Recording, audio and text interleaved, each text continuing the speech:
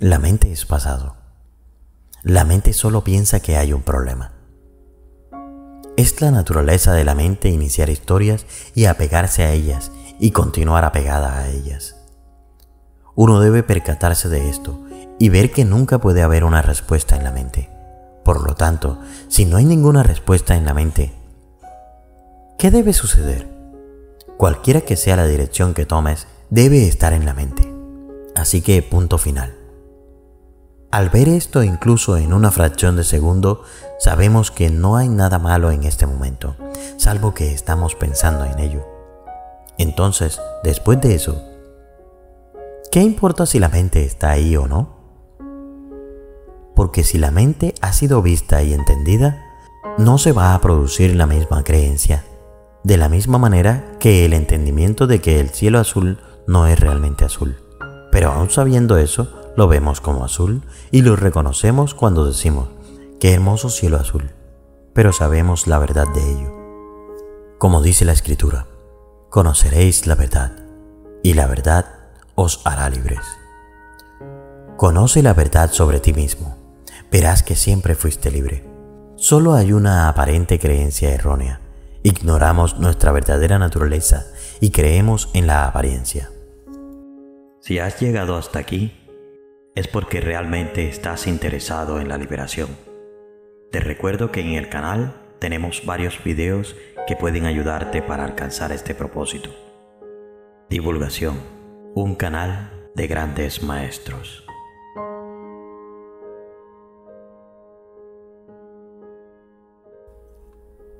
El pensamiento es tiempo que aparece en lo atemporal. Bueno, mirándolo desde otro ángulo, Aquí mismo, ahora mismo, todo el mundo está respirando. El corazón de cada uno está latiendo. La sangre está fluyendo por el cuerpo. El pelo está creciendo. Las uñas están creciendo. Las células están siendo reemplazadas. La comida está siendo digerida. ¿Alguien está haciendo algún esfuerzo por eso? ¿Hay algún yo o idea en la mente diciendo, tengo que realizar la próxima respiración? Tengo que hacer latir mi corazón. Tengo que digerir mi comida. ¿O está aconteciendo sin esfuerzo? Existe una innata inteligencia intrínseca, una energía dentro de esa manifestación llamada cuerpo que está haciendo correr la sangre por tus venas en este momento. ¿No está moviendo el diafragma hacia abajo para que entre el aire y luego empuja hacia arriba para expulsar el aire? ¿Está tomando todo el alimento y todas esas diferentes cosas que las células necesitan? Puedes sentir esa energía, puedes sentirla en tus manos y en tus dedos del pie, puedes sentirla allí, palpitando, latiendo. La vivacidad está latiendo y palpitando a través de este patrón de energía en este momento, sin esfuerzo. Nadie está haciendo un esfuerzo para hacerlo. La respuesta no está en la mente. De aquí una pequeña historia. Está el viajero en el desierto. Hace mucho, mucho calor y tiene sed.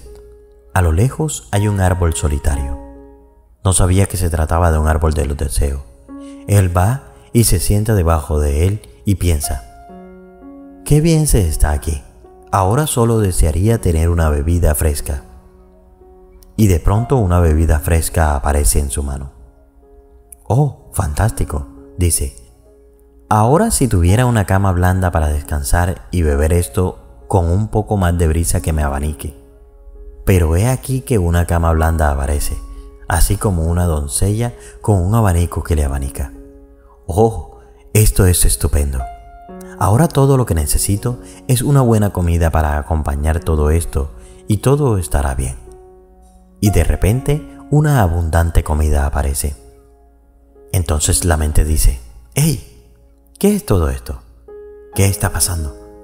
Tal vez es el diablo y el diablo aparece. Entonces la mente dice, ¡Oh! Me va a comer. Y lo hace. Así que cuando todo va bien, la mente por sí misma quiere cuestionar. Este es el patrón usual. La respuesta no está en la mente. Punto. Si comprendes eso, ¿Qué sentido puede tener eso? Sin sentido. Correcto. Suscríbete y punto final.